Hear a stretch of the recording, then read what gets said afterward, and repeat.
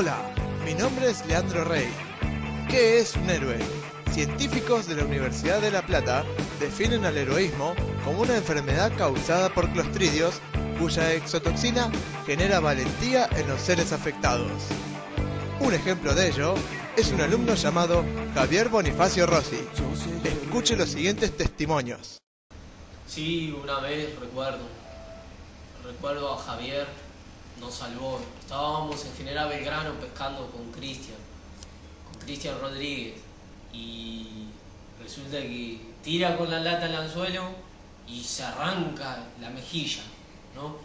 No teníamos con qué sacarlo y estábamos preocupados. La verdad que sí, se estaba muriendo desangrado el chico. Y por suerte apareció entre los yuyos. No sé qué estaba haciendo, pero apareció. Y fue nuestro héroe. Sí, sí, como. Javier. Sí, agarró con una pinza, le sacó y lo cosió con un, con un yuyo, creo que era una yuca. Con una yuca le cosió la herida. Sí, recuerdo que sí. Es nuestro héroe. Gracias Bonifacio, ¿no? Nos, nos- evitaste que se nos quemara el laboratorio y la cámara.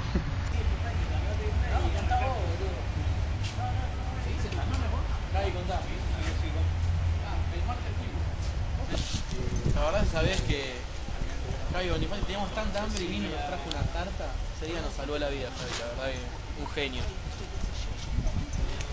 Sí, pero a mí me dio un poquito de cosa enterarme de que se le había choreado el cholo.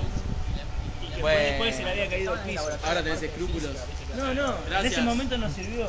Gracias Javi por esa tarta. Me salvaste la vida. Hola, soy Darío La Roca y conozco a Javier Bonifacio desde el 2009, en el cual participamos formando un gran equipo en climatología por primera vez. En realidad, él no, no hacía nada, solo gestionaba.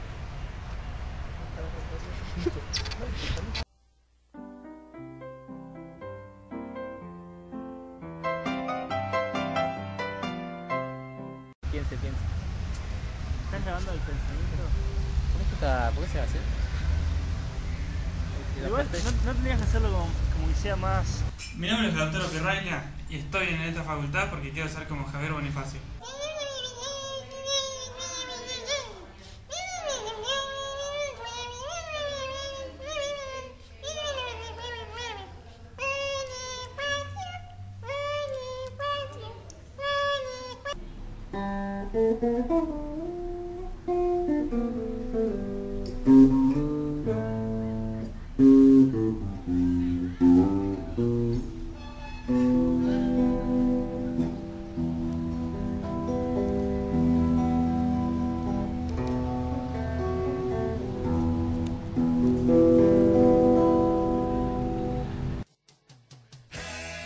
Aquí fueron testimonios de hechos aislados, pero un verdadero héroe se sacrifica por los demás todo el tiempo y es así como es reconocido. Bueno, yo conozco a Javier desde el 2008, desde ahí que venimos cursando la mayoría de las materias juntos. Y desde lo que lo conocí, Javier siempre tuvo una actitud de promover la ayuda al prójimo. Trabajó 25 años como bombero voluntario, eh, también prestaba actividad en co- co- comedores comunitarios. Eh, recientemente me enteré que está padrinando la fundación Una Sonrisa por Manuel y eh, también lidera la campaña contra quema prescripta en Sierra Leona, España. Ah, y una vez evitó que yo por accidente pisara una lombriz. ¿Qué cosa? Muy rico. Re tranquilo. Pero re tranquilo. Lo que pasa es que tenés que bajar el apunte ese de FAO, ¿viste? Sí.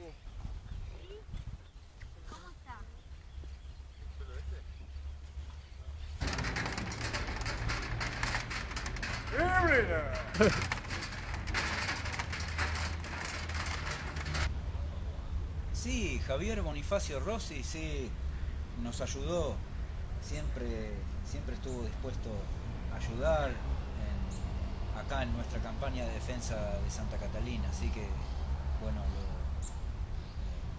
recordamos mucho y bueno, siempre le agradecemos su ayuda. Bonifacio es mi pastor, nada me puede faltar.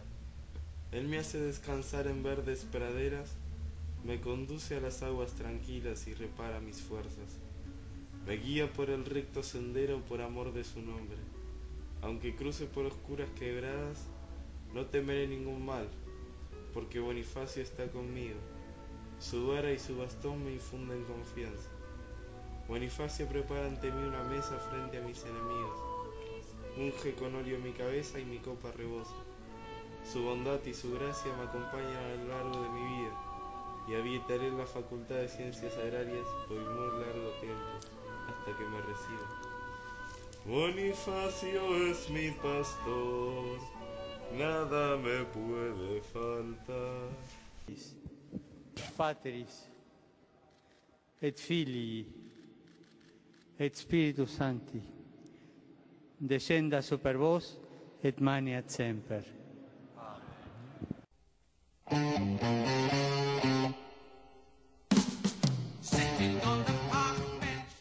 mí no me gusta la libertad de expresión. Facho, Yo- facho. Yo ataco, yo ataco a los periodistas.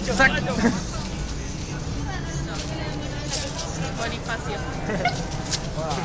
Todo lo que te- ¿Algo que decir por Bonifacio? Saca esa cámara.